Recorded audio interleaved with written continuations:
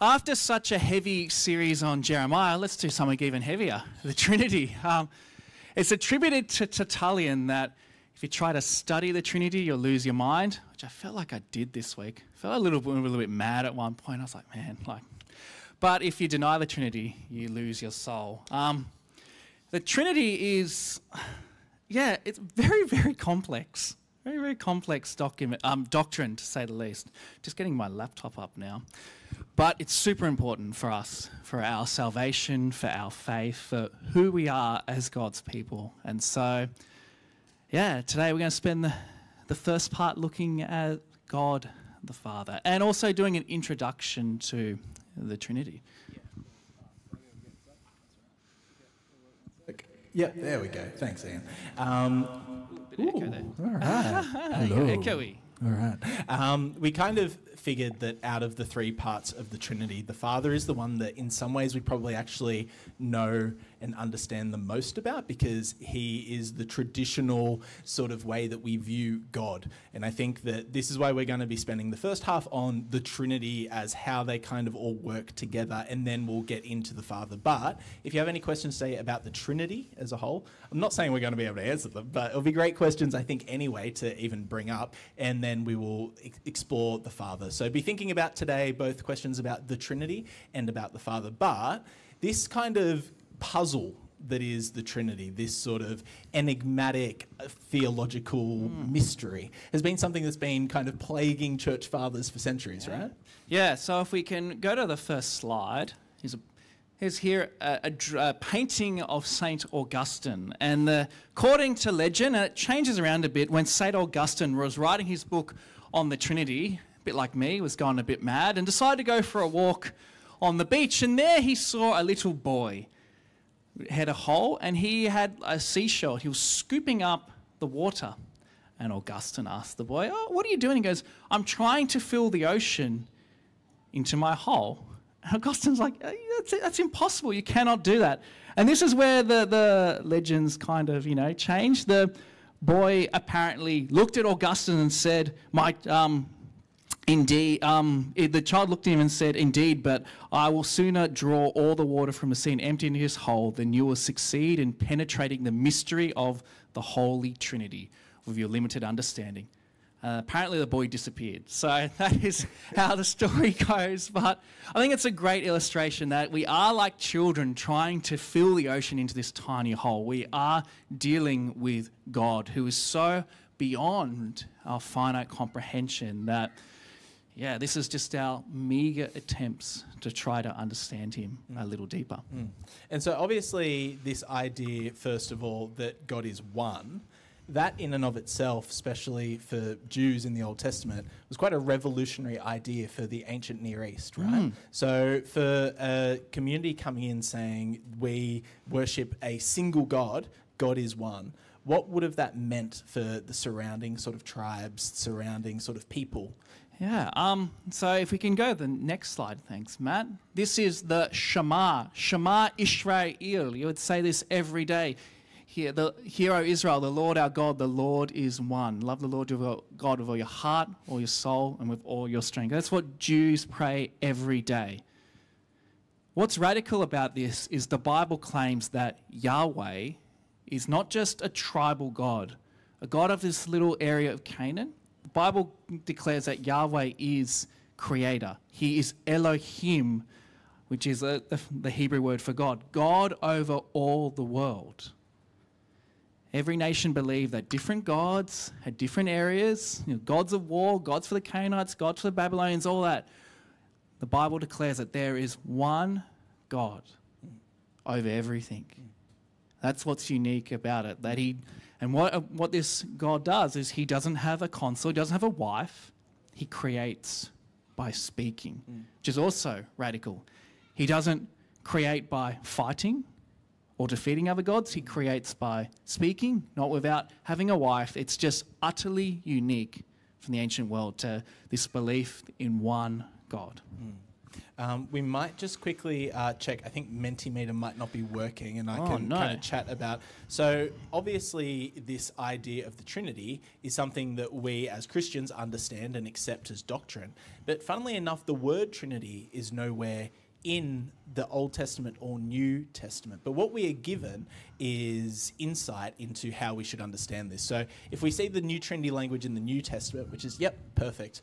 Um, yeah, Matthew 28 is a kind of very clear one where Jesus is calling his disciples. It's the Great Commission at the end of Matthew. Therefore, go and make disciples of all nations, baptizing them in the name of the Father and of the Son and of the Holy Spirit. So we see right here, even again in 2 Corinthians, when Paul writes, May the grace of the Lord Jesus Christ and the love of God. So we're kind of assuming, again, and this is something we'll talk about in a bit, but sometimes God the Father can just take on the title of God, which can get a bit confusing because he is obviously a unique part of the Trinity. Um, and we can sometimes almost elevate the Father to a higher level of God because when we're talking about the Father, we can just say God.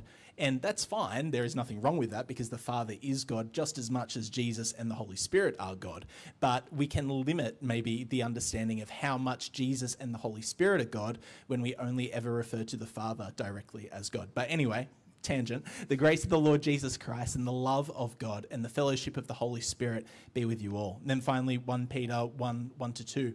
Peter, an apostle of Jesus Christ, and he essentially at the end says, You have been chosen according to the foreknowledge of God the Father through the sanctifying work of the Spirit and to be obedient to Jesus Christ and sprinkled with his blood. So there's this idea that we see. This is obviously a theology and a doctrine which continued to be formed and refined with the early church fathers, but is very clearly in the New Testament as something that mm. is theologically true and sound. Mm.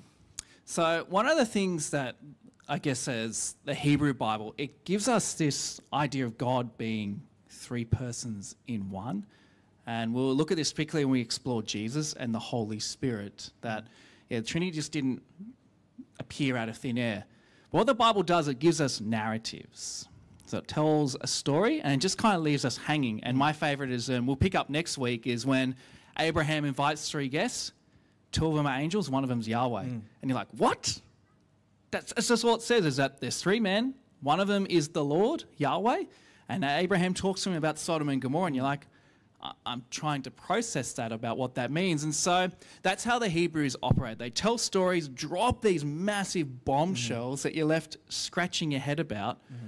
And so when we got to the New Testament times, the church, as it became less Hebrew and more Greek, started putting in language that wasn't from the scripture, but a way to help us mm. understand the Bible better. And so, as you can see in these passages there, we have what is called Trinitarian theology, but the word Trinity is not there. So, if we look at the next slide, We might just quickly check is the Mentimeter there, there working is now? working, and we have.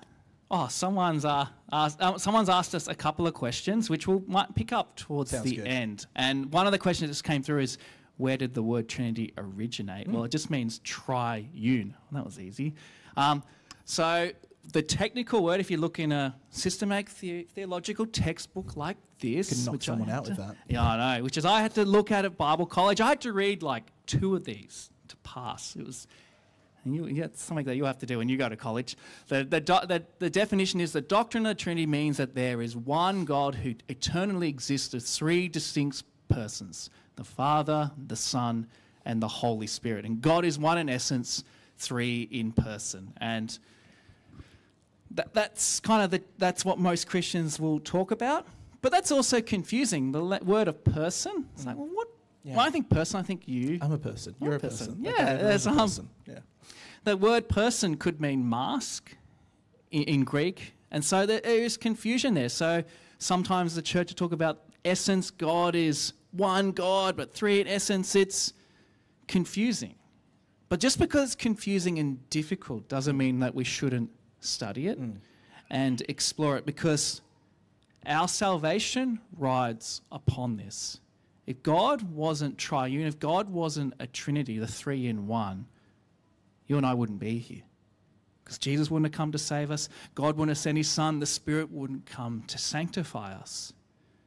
And that's why I actually was keen to do this series, is that every week when we come into church and we worship, we're actually worshiping God as a Trinity, whether we recognize it or not. in the language that we hmm. use, the fact that we just had communion earlier. We're worshipping this God who is Father, Son, and Holy mm. Spirit. And just having a great grounding in that, my prayer today is that you'll develop a deeper love for God, but a more expressive faith in the God that we worship. Mm. So we these are some big words Trinity, persons, being, essence. It's like it can go a little bit over your head. But as that quote I said before, if you deny it, if you study the Trinity, you're going to lose your mind, but if you deny it, you will lose your soul. And this is how God has revealed himself. And so just because it's hard doesn't mean that we shouldn't study it. So mm. let- let's let's Yeah. So, jump- well, like I know that a lot of us probably first came um, to teachings of the Trinity, probably maybe in Sunday school or youth group, or just somebody trying to explain it in an applicable way and uh, accessible way. I think one of two very popular uh, metaphors that we have seen is either God is water, right? So, as far as in um, the way of the Trinity, water can exist in a gas, a liquid, or a solid. And then likewise, God is an egg. You've got the shell, the yolk, and the white. Now, these metaphors are obviously helpful to get us into the room to start to understand the Trinity, but it's actually, they've both got their own limitations. And we're going to look at in a second, we won't go to that slide yet, how both of these analogies fall short. But I want to encourage us in the, just this next few minutes, turn to the person next to you, choose one of those two metaphors, and try to figure out for what we've been speaking about so far and what your understanding is of the Trinity, where do those metaphors fall short? We'll give you a couple of minutes to chat about it, and then we'll come back in a second. So, where do those metaphors, just choose one of them, fall short when describing the Trinity?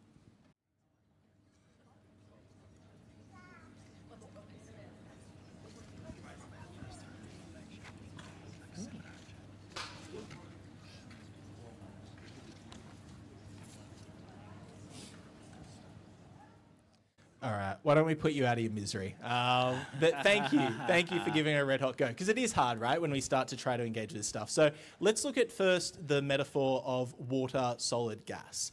Where this sort of falls short as far as understanding the Trinity in a more holistic way is its modalism. So, Mitch, what is modalism? Modalism um, is a fancy way of saying that God um, is one, one God, but has revealed Himself in like a mode, a different mode. So in the Old Testament, He's re- revealed Himself as Father, then revealed Himself as Son, then revealed Himself as Holy Spirit. So it denies God being one and three, and so that's probably if, of, classified as a heresy, which is very strong language. The church had to fight against this. It's probably something that Christians perhaps are unintentionally might think of, where you don't recognize that Jesus and Father and, and the Spirit are all one. And so we just kind kind of think, oh, in the Old Testament, God revealed himself as this angry Father, and the New Testament revealed himself as Jesus. Uh, and then now God is just revealing himself the Holy Spirit. It's like, well, just no, it's the one in three mystery. Yeah. So that's why modalism doesn't work. That's Yeah. why the whole. Yeah, so God, God is all three things at the same time. He's not Yeah. just one version. Yeah. He's not like a transformer where he's a car Yes. now, now he's a Megatron. It's Yeah. like one different. That's good. It's all three at the same time. Yes. All and right, that's why the, the solid liquid gas sort of doesn't work. All right. Oh, God. Cool. Yeah. So then, with the Trinity as an egg for the shell, white, and yolk, that sort of brings up its own little misunderstanding of tritheism. Yeah. So we've looked at modalism. What is tritheism? tritheism. Where does that fall short? Yeah, it's like a Bible college lecture. Um, tritheism is believing that God is three. So three gods. It's probably something that not many of us would ever get confused about. But if you think of God being like that, that shell, the white, and the yolk, you can fall in that danger of oh, God being like three. Yeah. Three gods. But Yeah. it's like, well, it's not actually. Yeah. That's the mystery of it, is that Jesus isn't another God. He is Yahweh. Mm. The Father and I are one. The Holy Spirit isn't a separate God. And so Mm-hmm. Yeah, that's that's what tritheism is: believing that there's three gods. Yeah. But- I always say if I go to a cafe and order eggs on toast and just get shell on toast, I'm going to be really disappointed, right? Because that's not what I ordered. And this is the idea where that falls short, where ultimately the shell doesn't actually represent the wholeness of God. And really, the yolk or the white doesn't fully represent the wholeness of God in the way that the Trinity is. The Holy Spirit is fully God, the Father is fully God, the Son is fully God. So then there's a third sort of heresy that we want to look at, which is Arianism, which we couldn't think of an applicable metaphor for. one. But do you want to unpack Arianism Yeah, a little bit for us? So Arianism is the belief that Jesus is, well, was a created being. So when you hear Jesus being the Son of God, a number of religions believe this. Say Jehovah's Witnesses, Mormons, that Jesus was the first and greatest created being. So Ari- Arius, yeah, Ari, yeah, it's saying it this way. No, Arius was a, a heretic who taught that Jesus was the first created being, and so mm. Arianism is the belief that Jesus isn't God, mm. but just some sort mm. of angel. Yeah, and it's really interesting because a majority of the early church heresies were around the Trinity in some way or another. So it is confusing, and it is something that the early church not only saw as something that needed to be defined more, but also something that when we get wrong is really problematic. So why don't we quickly jump to a video from Bible Project that's going to explain it probably much better than we will, and then we can come back after watching that. So I've got a question that's always bothered me. The Bible says there's one God, but in other parts of the Bible, God is three Father, Son, and Spirit. How can it be both? Yeah, this is a question that has mystified people for thousands of years. And while we can't fully explain it, I think we can better understand what it is that we can't fully understand. what do you mean? Well, think of it this way here's a two dimensional plane. And then here's an object with three dimensions that's going to pass through the 2D plane. Okay, right. From this perspective, the 3D objects above and below the plane. So now it makes sense. But imagine you were a 2D person stuck on the 2D plane. What would you see? I don't know. What would I see? Well, it would look like this. Oh, yeah, okay. From this perspective, it looks impossible. It's one object, and then, two objects, and then three. But in reality, they're all one, just not in a way you're capable of understanding. Now, let's take this whole thing as a visual analogy for how we experience God. The claim in the Bible is that God is transcendent, a divine being through whom we live and move and have our being. Or, as God says, I am. Okay, but I live here in this universe, so when God appears, it will make sense in some ways, but in other ways, it will break my categories. Exactly. This happens all the time when people encounter the God of the Bible. So let's look first at how this happens in the Hebrew Scriptures. Throughout the Hebrew Scriptures, God appears in complicated ways that don't quite fit our categories. One common way this happens is with God's attributes. So, an attribute is a way to describe what something is like. For example, a soccer ball is round, Right. or God is wise. Yeah, great. Let's take God's wisdom. So the book of Proverbs says that God created the world by his wisdom. But then there are also poems in the book of Proverbs that describe God's wisdom as a person, a co worker through whom God architected the universe. So, God's attribute becomes a separate character? Yeah, this also happens with God's glory, which sometimes appears as a human figure on a throne that's engulfed in fire. Or take God's word, which he can speak to people, but sometimes his word appears like a person. Wait, so God's attributes have become new little gods? No, no, the biblical authors believe there's only one all powerful God. But they're comfortable talking about them as different characters. Yeah, this is part of the way that the biblical authors portray the one God's complex identity. They're God's attributes and also distinct from God. Distinct from God and also God. Yes. Once we learn to spot that way of talking about God's identity, you begin to see it all over the scriptures. In fact, you find it in the first sentences of the Bible that mention the Spirit of God. So the opening line of the Bible is pretty familiar. In the beginning, God created. But then keep reading. Who is it that we see within creation hovering over the waters? The Spirit of God. Yeah, so the Spirit refers to God's personal presence and energy that we can interact with here within creation. And so the Bible can refer to God's Spirit as distinct from God. Distinct from God and also God. It's God's Spirit. And while this sounds strange from our point of view, this complexity is what the biblical authors are trying to get us to see. So we've looked at God's attributes and God's Spirit. Now let's make our last stop exploring God's complex identity in the Hebrew Scriptures with a character called the Son of Man. So in the Bible, there's only one God that people are to worship, which makes this story in the book of Daniel really surprising. Daniel has a dream about a human figure called the Son of Man, which means a member of humanity. And Daniel dreams about this human getting elevated on a cloud, up and then higher up. Up into God's space. Yes, and then this human sits at the right hand of God's heavenly throne, and all humanity worships this human alongside God. A human where I expect to see God. Yeah, this human is a part of God's identity. This vision is about the climactic hope of the whole biblical story. God and humanity become one so they can rule the world together as one. So the Son of Man is distinct from God and also God. Exactly. So, think back over everything we've looked at. In the Hebrew scriptures, God's identity is complex. And so, when Jesus' followers encountered God as the Father, Son, and the Spirit, they already had categories for how these could all be the one God of the Bible. Okay, let's talk about that. Okay, so in the New Testament, we're introduced to Jesus of Nazareth. And he's human, but way more. His favorite title to call himself was the Son of Man. The figure in Daniel's vision. And the claim is that he is this complex God become human to unite other humans with God. Okay, so the Gospels portray Jesus as fully human. And also as Yahweh, the God of Israel.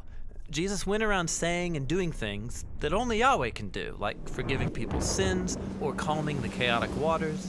So they're saying Jesus is a human, distinct from God, and also God. Yeah, and that might sound crazy unless you've been reading the Hebrew scriptures, which prepared you for it. And then check this out Jesus' first followers, the apostles, talked about his identity using the language of God's attributes. They called Jesus the glory of God, or the apostle Paul called Jesus the wisdom of God. Or John opens his gospel calling Jesus the Word of God through whom the world was created. And then he says, the Word was with God and was God. Okay, I get what they're doing, and it hurts my brain. Totally. And if you want to spin your brain even more, consider this. Jesus, who's portrayed as God become human, would talk to God as a distinct person. And when he did, he called him Father. When Jesus talked about God, he wasn't referring to an abstract force or energy. He was talking about a personal being that you can relate to. There's a lot of personal images of God in the Bible ruler, creator, judge. But Jesus consistently referred to God as my Father. Jesus experienced God as a source of infinite love. He said, The Father has loved me since before the creation of the world. Apparently, Jesus knew the Father as an eternally others centered, life giving being. Right, like in the story about Jesus' baptism, when the Father says from heaven, This is my Son whom I love. And then keep reading. In that story, the person who brings that message of love from the Father to the Son is the Spirit of God. So we've talked about God's Spirit. Here within creation, it's through the Spirit that we interact with the divine. Yeah, and the same was true for Jesus. Through the Spirit, he experienced the Father's love. But it didn't stop there. Jesus promised that through him, the Spirit would go out and share the Father's love with all humanity and with all creation. So it can look like these are three distinct gods, but in some way that transcends my view of reality, they're also one. Right. This is what later followers of Jesus called the Trinity. The Father, the Son, and the Spirit are the one God of the Bible. And I could see how they got there. But this isn't just a philosophy puzzle. To describe God as a triunity is to claim that the universe is held together by an eternal community of love. Which is something that I can't really understand. But the God of the Bible isn't a being that you understand. The point is to know and be known by this God so that we can participate in his love.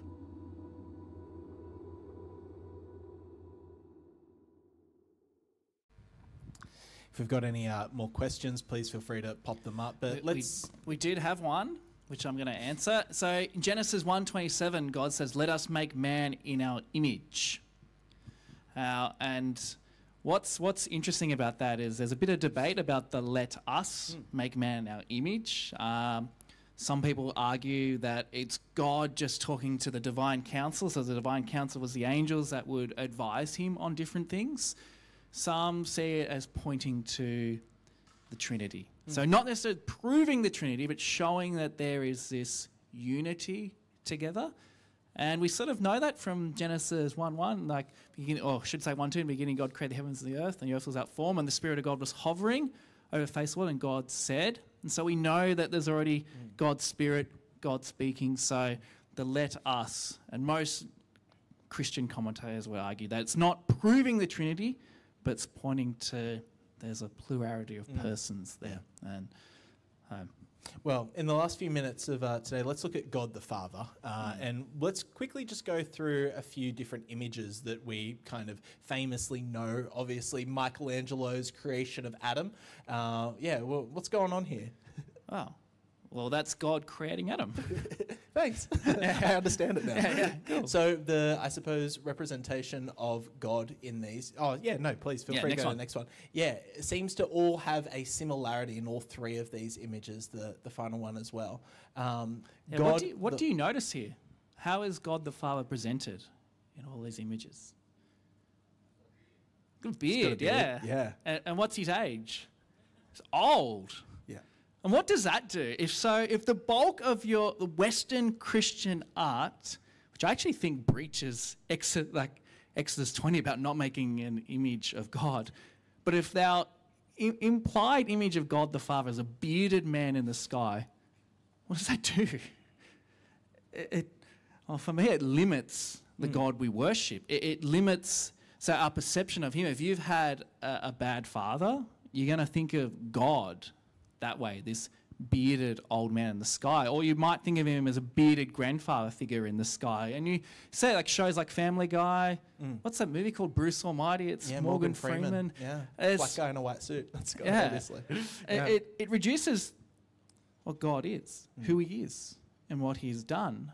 And so, if there's only one thing to remember today, is that God isn't a bearded man in the sky. Mm. God isn't a father's how we understand. So there's obviously stuff in the Bible where it talks about, you know, God's nostrils or God's hands and God's Mm. arms. So what's going on there if they're describing these things? that's an anthropomorphism, Anthropomorphism. All right. So essentially just a metaphor. a metaphor. It's a putting human characteristics to God to describe something. But it's interesting you talked about nose. Mm. So let's let's when we think of God the Father, we often can think of God being angry. yeah, the wrath of God. the wrath of. God. So the Old Testament image of God as being this wrathful, angry, vengeful, yeah, God. Yeah. And whether you know his name or not, many of us have been influenced by an early heretic called Marcion, who taught the Old Testament God was a God of wrath and anger and rage. The New Testament God was a God of love. And funnily enough, that's how we got our first canon, because mm. Marcion got rid of all the Old Testament. He only kept the Gospel of Luke. The other three Gospels were too Jewish for him, mm. and, only, and only Paul's letters. Mm. So And then the church's response was, Yeah, we've got to to- figure out what's yeah. our official canon in response to this heretic. Yeah, and and how we understand, yeah, God of the Old Testament and the New Testament. And Yeah. so, what's interesting, God the Father, if we look at the next slide, the depiction of God is from Exodus. This is this self-revelation to Moses in Exodus 34, and God says here, "The Lord or Yahweh, Yahweh, God." Uh, compassionate and gracious, slow to anger, abounding in loving kindness and truth, who keeps loving kindness for thousands, who forgives iniquity, transgressions, and sins, and he will no means leave the guilty unpunished. That is the image of God as Father. What's cool in Hebrew, Hebrew doesn't just use the word, oh, I'm slow to anger. To be angry in Hebrew is you like flare your nostrils or mm. make your nostrils hot. So you know what the opposite of that is? Have a long nose. That's like you can imagine reading that. Yeah, Yahweh, Yahweh is yeah, compassionate and gracious, long of nose. How awesome would that be? But that's the idea. Is actually God's wrath and anger, which we can, if we have that bearded white man image, this angry God, it's anger in response to evil and injustice. And if you read Scripture, we see God's long nose everywhere. He doesn't, when particularly we looked at Jeremiah, he didn't exile the, the Jews straight away. There was hundreds of years. There is so much warning. All that pain that is poured out, that God, that's God's heart. That's God's heart as Father. He doesn't want his children going astray. It's actually showing us this deep, deep love. And what's cool too, there's a question about image of God with male and female. Is that word compassionate can also be womb. So this it's built off that root word of womb. So even within God being depicted, depicted as a father, as a man, there's still like feminine characteristics. Both humans, male and female, carry um, the image of God. And so in that passage there, we see God as compassionate, like a mother, slow, uh, long of nose, I should say, slow to anger. And that's who God Yeah. as Father is. So I want to respect everyone's time. Should we jump forward to so we what? should, yes. Let's jump forward we to so should indeed, because we- we have heaps of questions. We have to pick up these next week. That's cool. So um, maybe we could even do an episode of banter this week answering Yes. those questions. So, so what? What is the relevance of God the Father? And I think, in some way, more importantly, what would we actually miss if we stripped God the Father from the Trinity? Yeah, so we see at the beginning of creation, God the Father's the God the Creator, the one who speaks. We would miss that. We wouldn't be here. Planet Earth wouldn't exist. God the Father, and this is the mystery which I still cannot wrap my head around, is that God knew what would happen, foreordained us, mm-hmm. but it was God's plan to send Jesus for redemption. Mm. We wouldn't have that. God the Father is author of salvation. And Jesus reveals Yahweh as Father.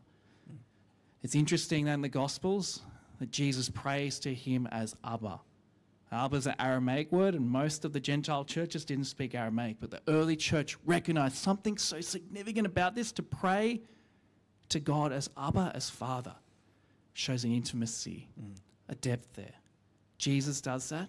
We can too. We can be called the children of God. That's what, in many ways, breaking up Father, Son, and Spirit, it's a little bit artificial because you can't. They're all interlinked. It's one God, three persons. Okay, you can just walk away with that knowledge that, yeah, the Trinity is a deep mystery, mm. something deeply, deeply profound that we'll never wrap our head around. We're just 2D yeah, shapes living in a 3D. God's in that space. We just cannot comprehend that. But we can comprehend. So God loves us. God sent Jesus for us. And Jesus has made a way to pray to God as Father so we can have that deep intimacy with Him. And just, yeah, finish off that. This is how God showed His love among us. He sent His one and only Son into the world that we might live through Him. This is love, not that we love God, but that He loved us and sent His Son as an atoning sacrifice for us. Um, thank you. And we'll unpack the rest of those questions in Banter this week. So if you've never listened to Banter, you'll have to listen in because there's some great questions that mm. came through.